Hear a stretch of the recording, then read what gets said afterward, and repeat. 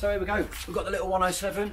We're going to do some winter checks on it. We're going to check the antifreeze content, make sure that it's going to deal with the cold conditions because it's you know winter's coming, it's changing. We've not had a really good freeze yet, but it's on its way.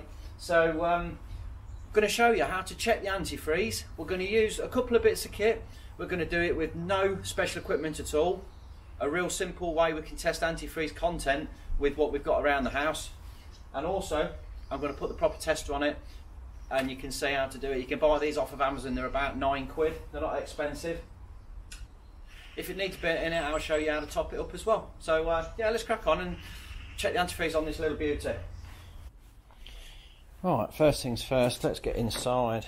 Get the bonnet up and find the lever under there. Give it a little pull. And then under the bonnet, just under here, I've got the little catch.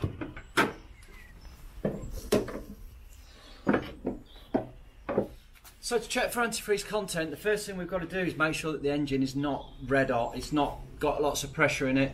A tiny warm engine is not too bad, but if it's hot, don't do it. This is going to be pressurised and it will blow up in your face.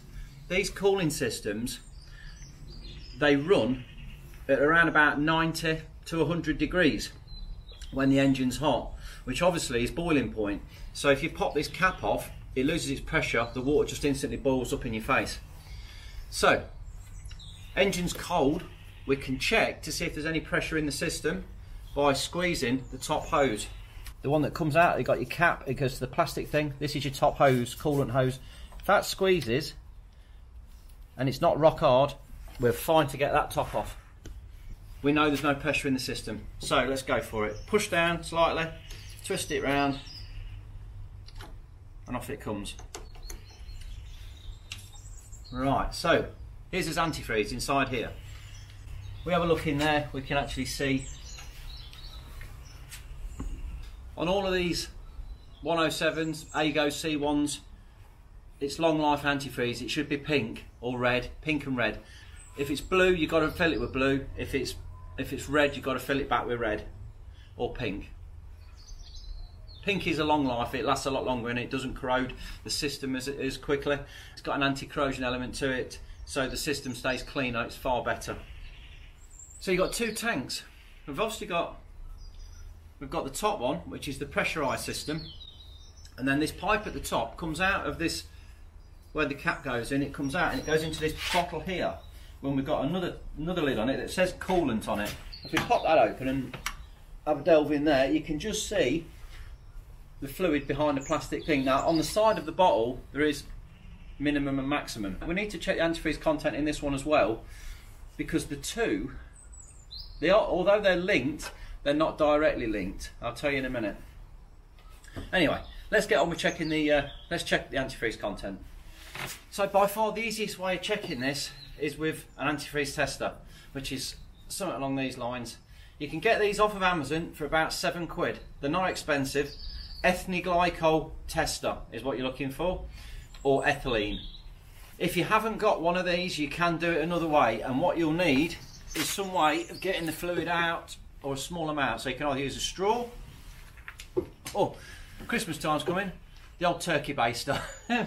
so, what we're going to do is, if you've got the antifreeze tester, is squeeze the pipe closed, stick it in, draw some of the fluid up into the tube like so.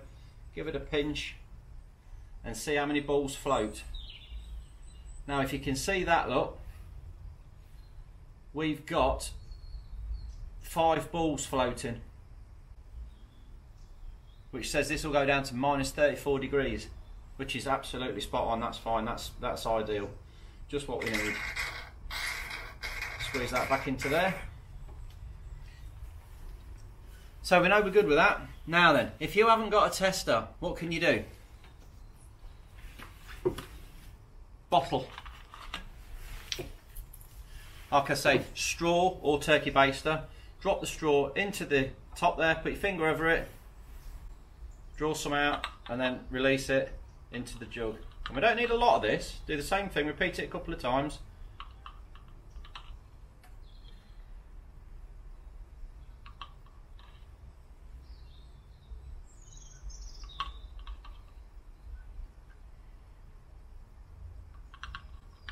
Plenty.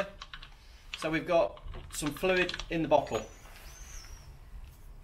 Straight away, visually, you can see that that is it's a nice colour. It's a nice pink colour. So I'm pretty confident. If I saw that, I'd think, yeah, I'm pretty confident. Then that's going to be going to be good. What we're going to do, we're going to stick that in the freezer. Domestic freezers go down to around about 30 degrees, something like that. Um, if we bang this in the freezer for half an hour, we will know if we've got decent content in there. If that freezes in the bottle, we need to put some more antifreeze in. If it stays nice and we're good to go. So let's give it a bash. Let's whack it in the freezer and see how we get on. Right, let's go to the freezer. Right, so we've got the trusty old chest freezer in the garage. And uh, let's just have a little look at this. So, just to prove to you what I'm saying, uh, I know it needs a bit of defrost on it. It's a bit, uh, it's got a, we like a bit of ice in this freezer, don't we? So if I pop this on, and waz that into the freezer, you can see there. Can you see there? You see that? We're running there at minus minus 24 degrees, minus 25 degrees.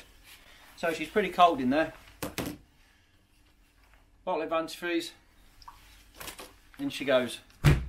Half an hour. We'll leave that in there for half an hour. We'll come back and check it. All right, let's have a look then, see what's up to this. Well, as as we thought, absolutely fine. Look, absolutely fine. Not frozen at all. So uh, that's good news. If that was slightly slushy, we still know we've got a reasonable amount of antifreeze in there, but um, worth topping up a little bit. Just draw a half a litre out, pop half a litre in, and uh, you know for sure then that you're really you're up to scratch with the antifreeze. Right. Okay, this is the sort of thing we're using to top it up with. We've got the uh, concentrated summer, winter antifreeze, ethylene glycol based, uh, which is pretty much what majority of the antifreezes use. I'll just whap a little bit in there, just uh, get this right up to the top.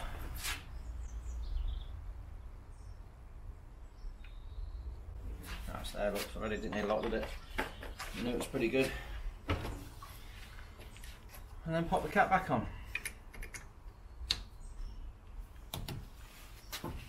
Right then, so let's get into this bottle and check the antifreeze in there as well.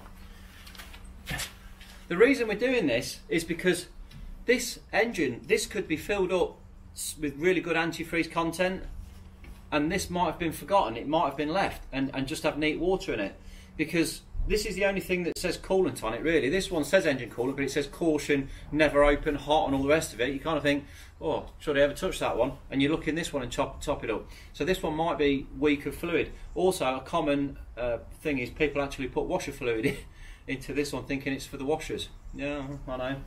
Right, so if I drop my pipe into this one as well, and then give it a squeeze, draw up the fluid.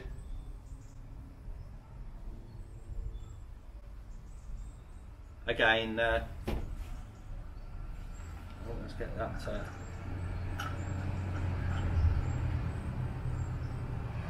the air out of the system. Yeah, which is we're, we're the same. We've got the same.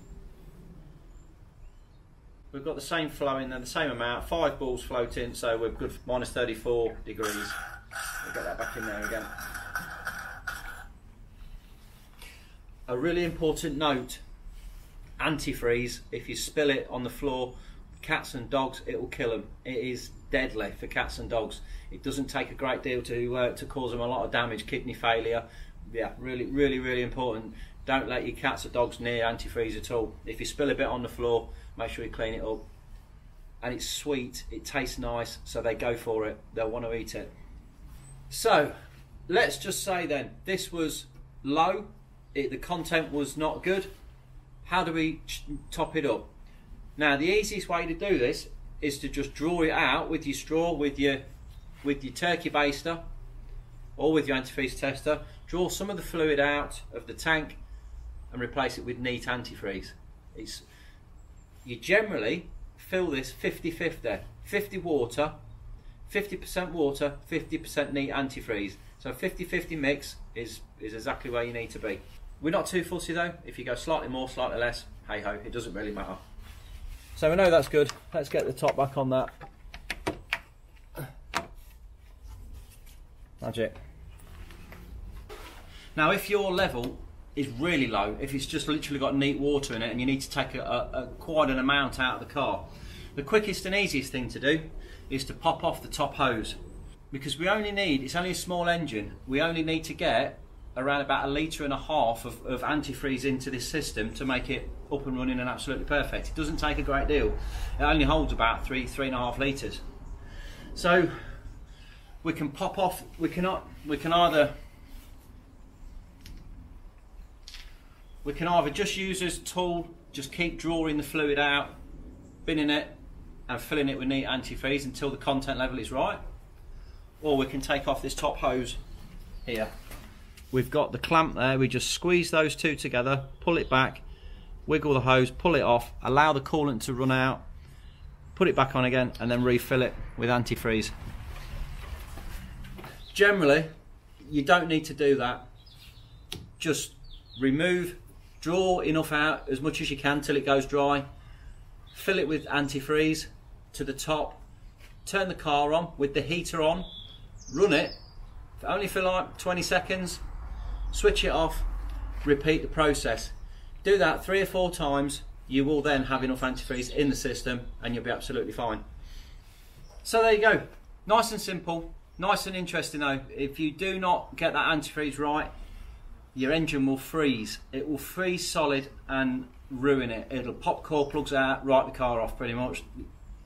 It's very, very common. If it's had a leak, if you've had the water pump been leaking, quite common, and you've just been topping it up with water, winter comes and the thing freezes up. Especially, it's not always first noticeable when you start the car up.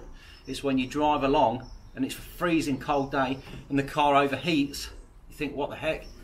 And it's because the radiator is frozen. As you've been driving along, the cold air forcing through that is like a, a wind chill factor, minus 50 degrees plus, and through that radiator, and it just freezes the thing. Now, if you're interested, I'll just tell you a little bit about the cooling system on the car.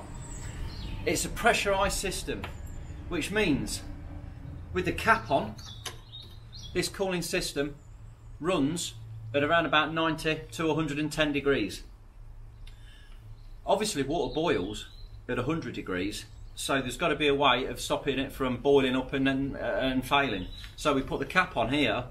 The system's sealed and the pressure builds inside the system because the pressure increases, the boiling point increases, and the engine's fine, which is great. So on this system, what is the point of having this extra tank on the side? Well, what it does, this cap has got a one-way valve in it. It stops pressure coming out, but it allows air to draw in.